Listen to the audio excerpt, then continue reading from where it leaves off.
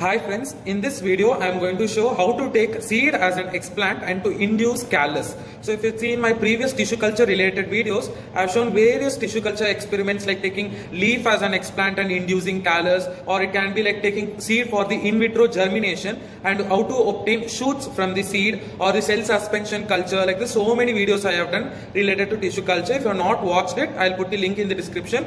Please do watch it.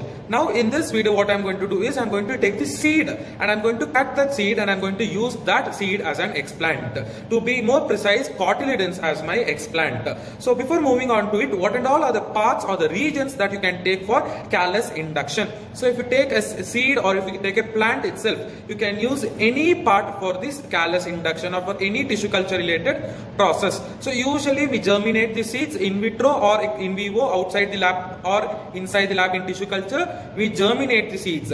So I made a detailed video how do we surface sterilize it, how do we germinate it, what are the different types of uh, media that we prepare for different types of seeds. So all those things complete video I have given. I'll share the link in the description. Please do watch it even in a seed you can break open the seed and you can remove the seed coat cotyledons and you can just take the embryo and you can inoculate it i will make one more video also for embryo culture so that is also one method or what you can do is you can cut the seeds and you can take the cotyledons and you can place it on the media that will produce callus or when you can give uh, you can keep the seed for the germination then when the shoots, when the epicotyle region and hypocotyle region is coming, you can take the epicotyle and you can also induce callus or shoot from the epicotyle, from the hypocotyle or from the radicles, you can also induce the shoot.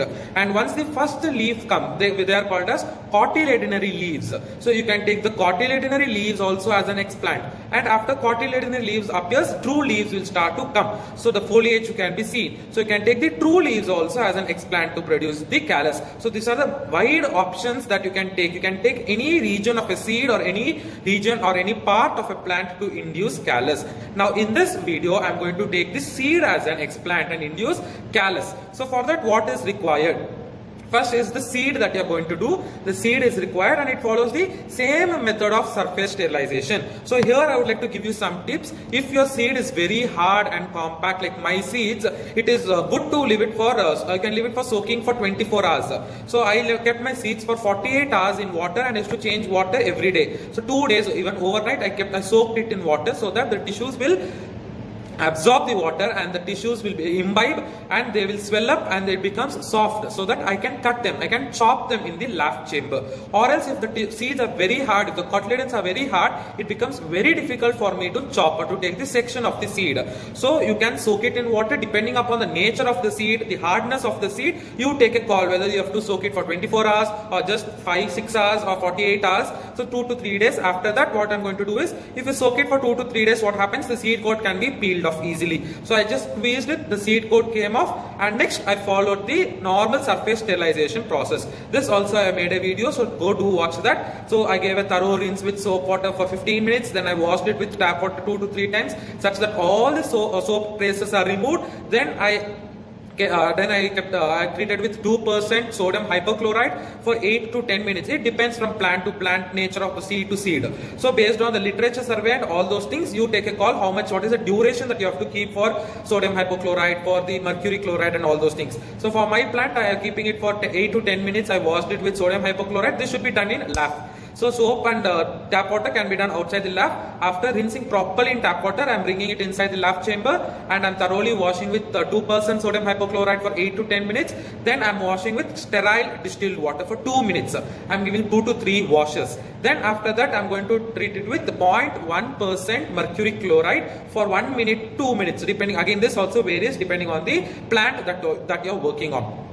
Then after 1 to 2 minutes, again I washed it with sterile distilled water 2 minutes each for 2 to 3 washes. Then after that what I'm going to do is I'm going to take a seed and I'm going to chop it. I'm going to take section and each section I'm going to place it on media. Now again you have two different type of media. This is normal basal media. This is done in Phyta jar. Either you can keep it in Phyta jar or you can make a slant out of test tube and you can place it over here. It is according to your convenience. Now again in this media, there are two types of media. This is normal basal MS media without any hormones or any other additives.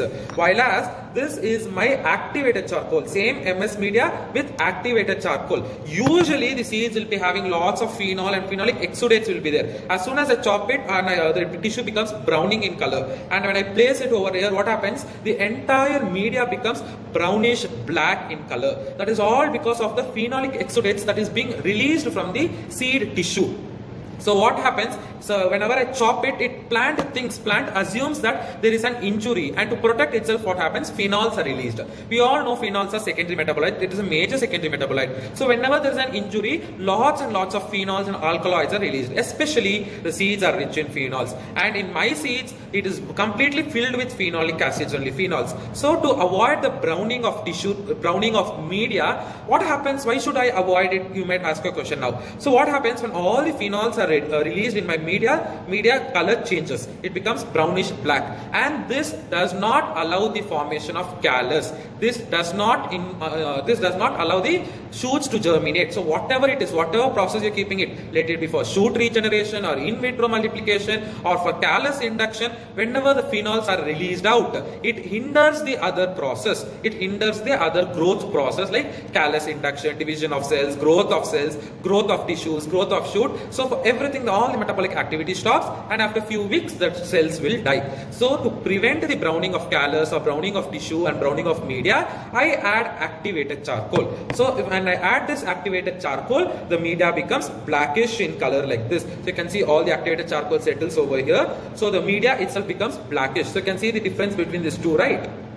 Now, when what happens is, what is the role of activated charcoal? Again, concentration varies from plant to plant. Usually, we place from 0.3 grams to 0.5 grams per liter. When I'm preparing 1 liter of MS media, basal Murashige Skoog basal media, I can add from 0.3 grams to 0.5 grams. I can add. Again, it needs to be standardized for whichever plant you're working. So here I have placed, I have put 0.3 grams. If I put higher charcoal, it becomes even more deeper black in color. So what is the role of activated charcoal? We know that activated charcoal comes in face pack and it comes in face washes, it comes in soap bars, all those things because of its adsorbent properties. So whenever we apply for face wash, what happens? Our face pack, all the pollutants and all the dust that gets trapped in our skin cells is adsorbed. So activated charcoal has an adsorbent property. Same phenomena, same principle is observed over here, applied here also. So all the phenolics are adsorbed by this activated charcoal and it will not hinder the other growth process. And also do, keep in mind that don't sit relaxed thinking your activated charcoal will do the process and don't leave it for months together. Even though if you're adding activated charcoal, the media needs to be subcultured every week. So, so for example, if I'm keeping some callus over here or some tissue over here in this media, again I have to change the media every week. So that also depends upon plant to plant. I change every week. So after every week, I change the media again with activated charcoal. For two to three cycles, I have to add activated charcoal. After three to four cycles, what happens? I can use normal MS media. Then browning of tissues or browning of cells or browning of media will not be observed. So this is all varies from plant to plant. It needs to be standardized. So I keep for two to three cycle. After three cycle, I shift it to normal MS basal media. Browning will be reduced completely. There will be no browning of tissues. Here I can leave it for three weeks or four weeks depending on the experiment that I am doing. So this is all now you need to require the background information. So either you can make in the form of slant. In one slant, I can keep just one section I can keep. If I'm using a Phyta jar or jam bottles like this, I can keep some five to six sections I can keep and I can transfer them. So that is why we prefer this. It has no surface area also. Now, what is required to before moving on to is so all the media should be sterilized. The instruments the forceps the scalpel blade everything needs to be sterilized. The lab chamber should be uh, wiped with 70% ethanol or spirit so surface sterilization should be done. And wash your hands properly with soap and with spirit or 70% alcohol and enter into the lab. And i will demonstrate you now how to take section and how am i going to place it. So make sure everything is swabbed with 70% alcohol and also wash your hands properly spray 70% alcohol on your hands also.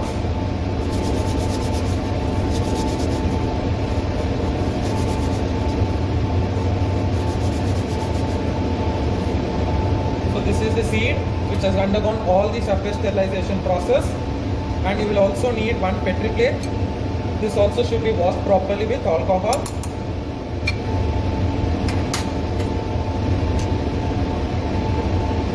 So I'm taking one seed and I'm placing it and I'm going to chop it here.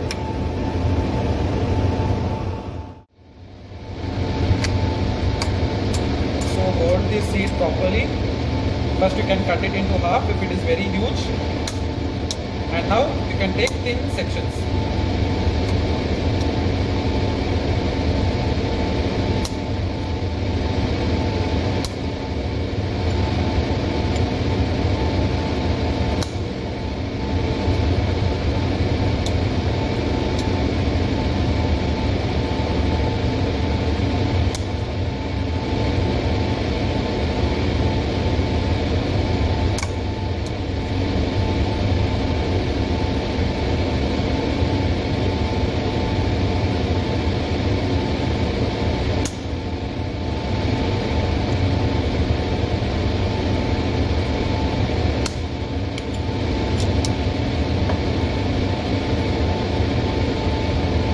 One more seed I'll show you.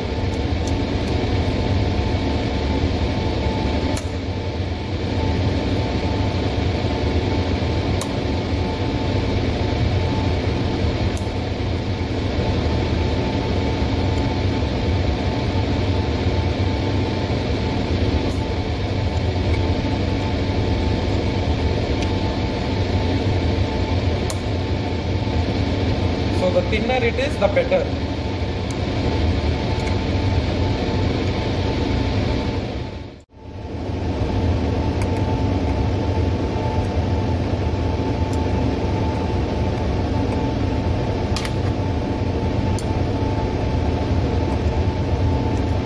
So this is better, it is as thin as this.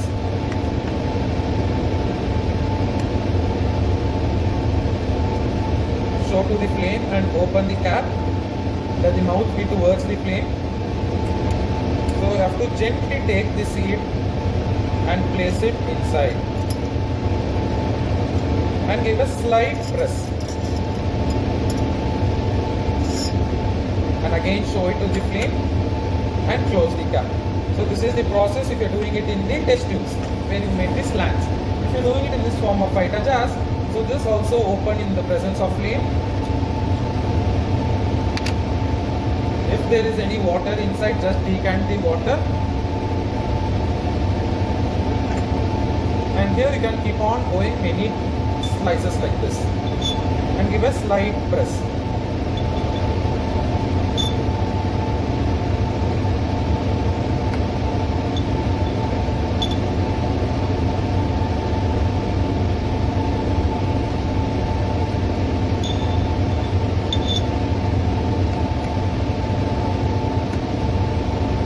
So around 5 to 6 pieces I can keep it in one bottle. Again it depends on the size of the seeds and all those things. I'm keeping 6, I'm keeping far far.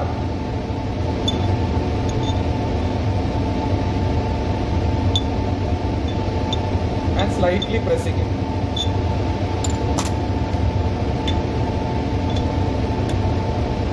So you can find here 6 pieces I have kept here in this Phyta jars.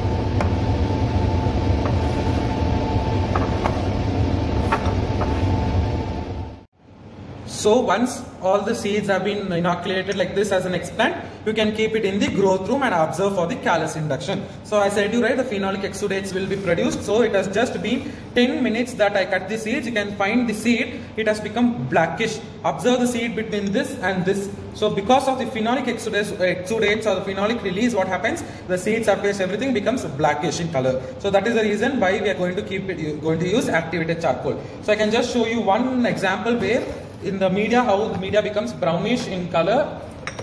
So you can see this media how the roots everything has become brownish because of the phenolic exudation. So this is without any roots I mean without any activated charcoal and also the plant has died. So because of the high concentration in the phenolics and the media, plant cannot survive. So this is the reason we add activated charcoal to the media so that it absorbs all the phenolics and it allows the plant to grow. So again now we're going to keep this in the growth room where it is having 16 hours of light and 8 hours of darkness and the temperature is maintained around 24 to 26 degrees Celsius and we are going to monitor them for the callus growth. So this is this video completes over here taking seed as an explant to induce callus. So I hope this video was very beneficial for you. If it was beneficial and you liked it, do give a thumbs up to this video and do share with your friends and subscribe to my channel for more biology related content. Thank you.